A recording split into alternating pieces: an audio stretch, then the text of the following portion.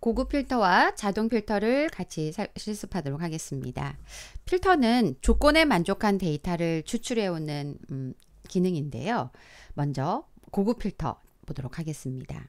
고급 필터는 조건을 먼저 입력해 놓으시고 조건에 만족한 데이터를 추출합니다.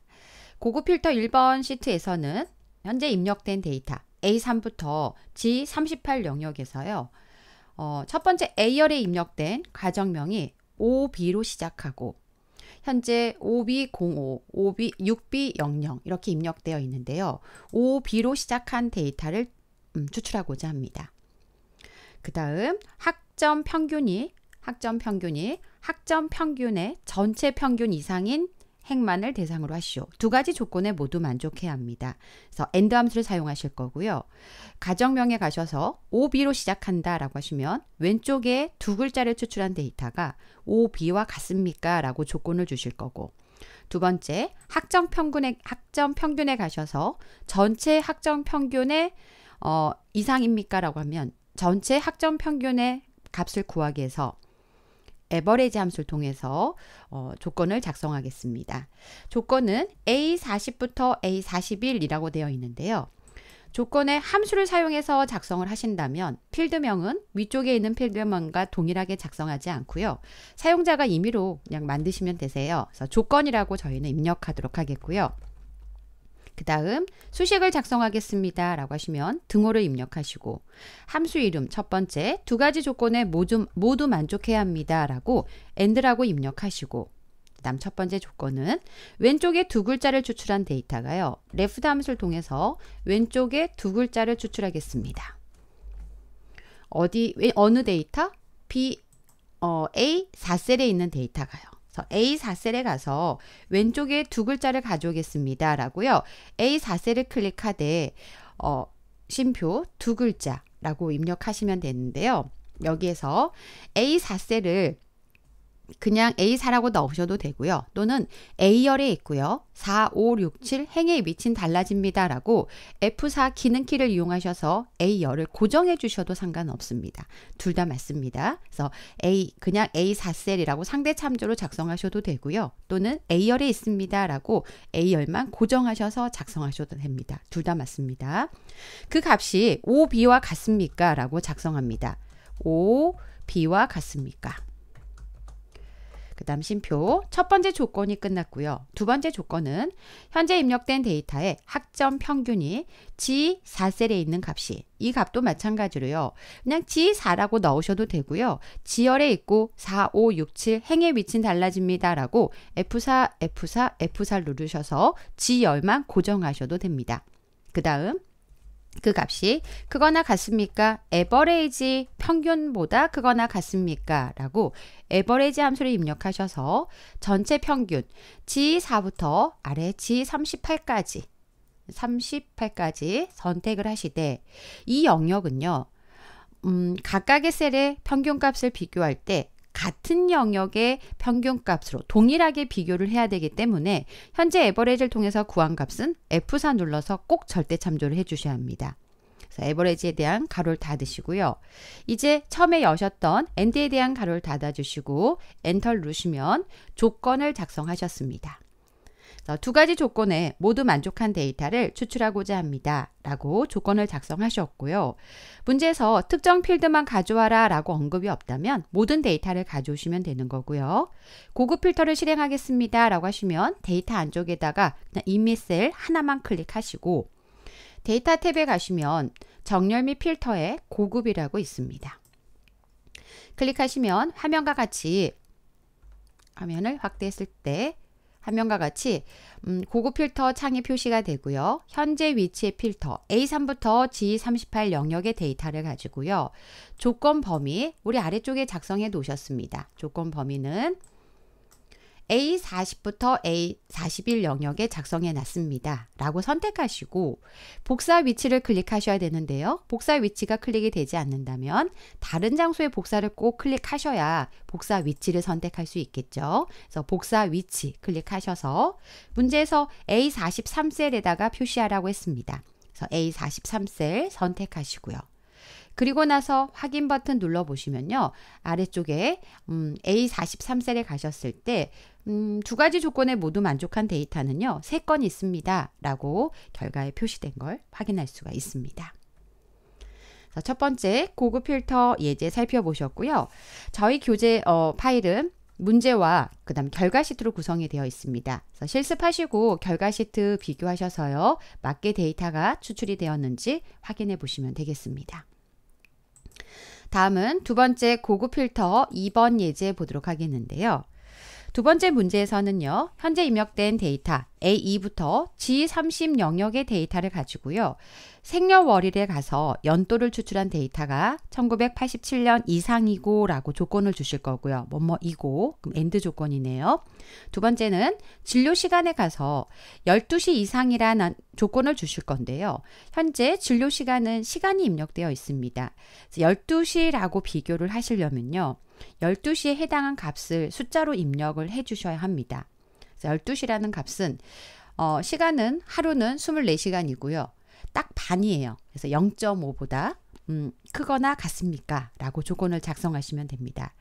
일단 커서를 음, i2셀에다가 조건을 작성하라고 되어 있고 우리는 함수를 사용하실 거니까 필드명을 조건이라고 입력하겠습니다.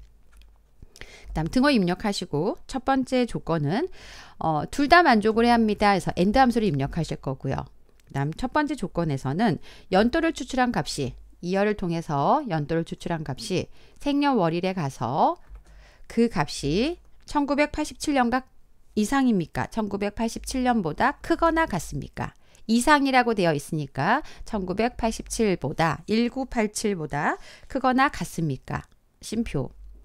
두 번째 조건은 G3 진료 시간에 가셔서 음 12시 이상입니까? 크거나 같습니까? 0.5보다 크거나 같습니까? 하루는 24시간이고 24시간의 반이니까 어 0.5라고 입력하시면 되고 그래서 진료 시간이 12시 이상이다라는 조건을 주실 거니까 그거나 같다 0.5 가로 닫습니다. 그래서 엔드에 대한 가로를 닫으셨고요. 앞에서 고급 필터 1번 예제 설명할 때도요. C열에 있고 3, 4, 5, 6 횡의 위치는 달라집니다. 라고 C열을 고정하시는 작업을 하셔도 되고 생략하셔도 됩니다. 그 다음 진료 시간도 마찬가지로 G3에 있고 G3, 4, 5, 6 행의 위치는 달라집니다. 라고 G열을 고정하셔도 되고 아니면 아까 처음에 작성하신 것처럼 클릭만 하셔도 각 각의 행의 위치가 달라지면서 값을 비교해서 조건에 만족한 데이터를 추출해 올 수 있습니다. 이렇게 한쪽만 어, 혼, 고정하는 혼합 참조를 하셔도 되고요. 지금은 참조를 하지 않고요. 혼합 참조하지 않고 각각 어, 셀의 위치가 바뀌는 상대 참조로 수식을 작성했습니다. 그래서 엔터 누르시고요. 그 다음 음, 모든 데이터를 가져오는 건 아니고 이 조건에 만족한 데이터의 성명과 생년월일과 그다음에 진료 과목과 진료 시간 필요한 필드만 추출하라고 되어 있습니다. 4개 필드만 성명, 생년월일, 진료 과목, 진료 시간 선택하시고 컨트롤 C 눌러서 데이터는 I5셀부터 표시하라고 했습니다. I5셀에 컨트롤 V 합니다. 위에서 작성한 조건에 만족한 데이터를 I5부터 음, 데이터를 추출하겠습니다. 라고 추출할 필드를 작성해 놓으셨고요. 데이터 안쪽에 커서를 갖다 놓으신 다음에 우리는 데이터 탭에 가시면 정렬 및 필터에 고급이라고 있습니다. 조건 범, 어, 데이터의 범위는 A2부터 G30 30 영역입니다. 라고 깜빡깜빡 하고요. 조건 범위는 미리 작성해 놨던 I2부터 I3입니다. 라고 선택하시고요. 그 다음 다른 장소에 복사, 복사 위치에 오셔서 성명부터 진료 시간까지 추출하고자 한 필드 4개를 선택하시고요. 그리고 나서 확인 버튼 누르시면 이제 샵샵샵이 나오는 거는 열 너비가 좁아서 그런 거고요. 열 너비를 살짝 조절해 주시면 되고요. 제가 화면을 좀 확대해 놔서 또 샵샵샵이 나올 수 있습니다. 시험 장소에서 만약에 샵샵샵이 나오시면 열 너비 조절해 주시면 되고 물론 조절하지 않으셨다 해서 감점이 되거나 하진 않습니다. 그래서 실습하고 나서 결과 시트 클릭하셔서 맞게 작성이 되어 있나 확인해 보시면 되겠습니다. 자, 고급 필터 예제 1번과 2번 같이 살펴보셨고요. 다음은 자동 필터 예제를 보도록 하겠습니다. 조건에 만족한 데이터를 따로 조, 어, 추출하고자 하는데 따로 조건을 작성하지 않고 현재 데이터를 이용해서 어, 조건에 만족한 데이터를 표시하고자 합니다. 간단하게 사용하실 때는 자동 필터를 사용할 수 있고요.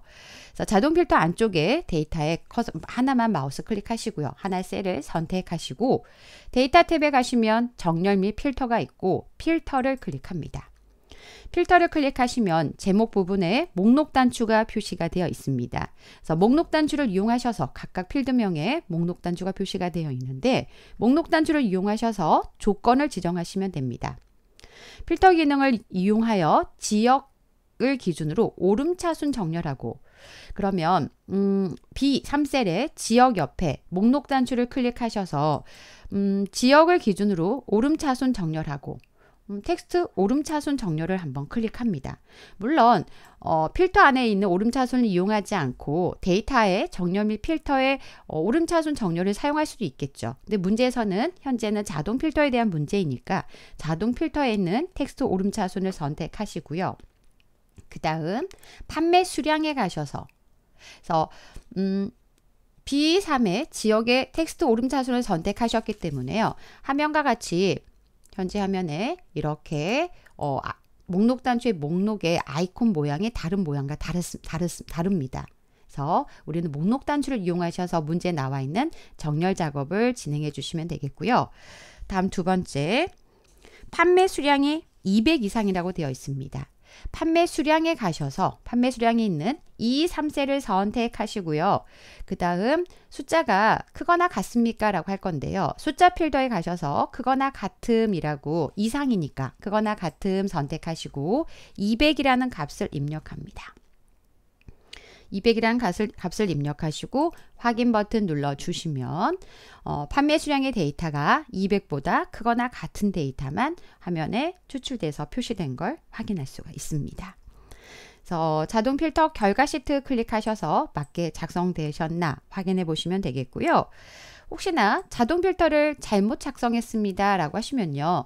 음, 데이터의 필터 옆에 지우기 그러니까 자동 필터를 해제하겠습니다라고 지우기를 하셔도 되고요. 또는 어, 필터 자체를 해제하시고 다시 음, 문제 나와 있는 조건을 음, 주시면 되겠습니다. 그래서 지우기를 클릭하셔도 되고 또는 음, 필터 자체를 해제하셔서 다시 필터를 실행하신 다음에 조건을 어, 작성하셔도 되겠습니다. 그래서 문제 나와 있는 조건 음, 자동 필터를 이용해서 작성해 보시면 되겠습니다. 고급 필터와 자동 필터 예제를 같이 살펴보셨습니다.